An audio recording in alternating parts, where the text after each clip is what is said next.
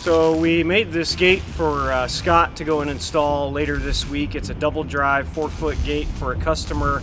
Um, I believe it's going over top of their drive. Basically just welded a couple of wheels that are meant to be bolted on to the bottom of a gate with a U-bolt. Um, but instead we decided to kind of chop up the corner of the gate and allow them to fit into the corner. Um, and so we've done that here today. Once they attach this, to the post. It should be able to swing uh, both directions fairly easily. It's got pretty good range of motion, so yeah, I think uh, I think it'll work out pretty good. I think it'll make the customer happy, and it'll be fairly easy to install. So uh, it's a win-win for everybody.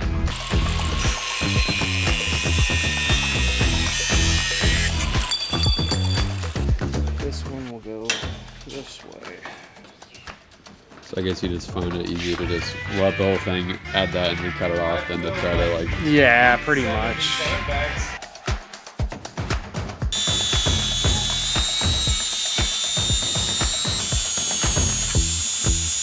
Yeah, so we're cutting this out just so that when we weld it onto the gate, it will be a little more flush and it won't be sticking out one way or the other.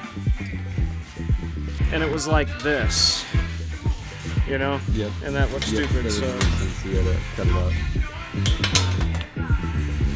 Yeah, so I need to cut more out of the back.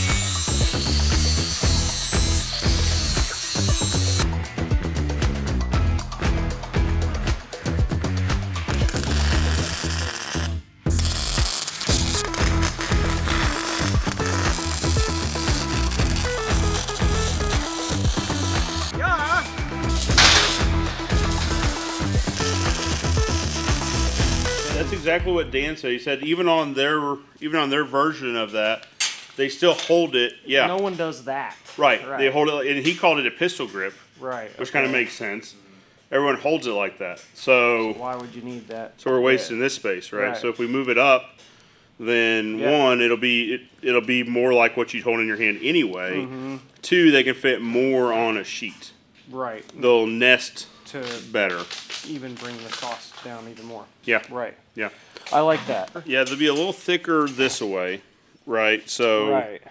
maybe that helps get them a little bit further I- back in the palm, I think it would. you know. But I, I don't think we'll be able to get to there just because Right. that, that steel would be so thick. Right. But right. hopefully, pushing them back in the palm would help. Mm-hmm.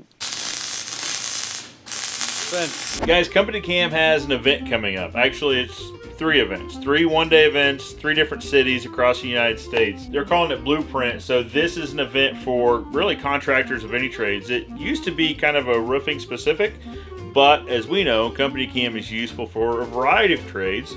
Including fence, just basically about implementing technology into your business, how to get traction with it, that sort of thing. Now, the most interesting thing is if you, we scroll down here to the keynote speaker, if you guys follow the channel, you recognize Shawn Van Dyke. Great guy. We got two and a half hours of his time to talk just all things contractors. I wish I had more. This guy, he's an incredible guy to listen to. I hope I have the chance to attend, uh, to be able to be a student uh, listening to him teach. For more information on the event, we've got a link in the description for you.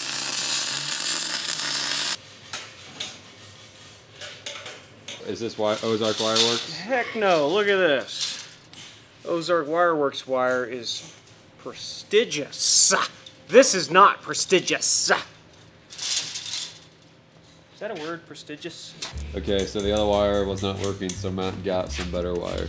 Not only is it better because it's Ozark Wireworks, but it's also gate wire, so I don't have to cut and knuckle it.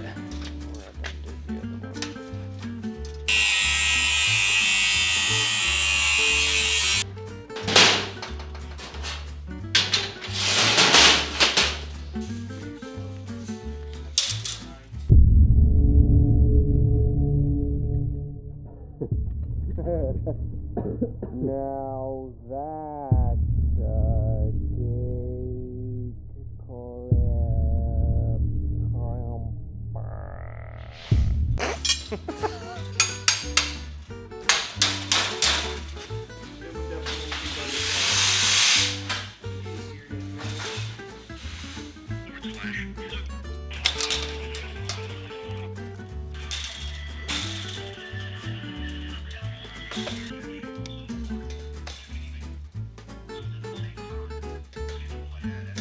And that pretty much wraps up the gate. There you go. So now we have two. One on this side, the one we showed in the intro. Now it can swing out nice and smooth. We got the Ozark Wireworks wire on there, so that's cool. Nice has to finish these these ties here, but other than that, it's it's done.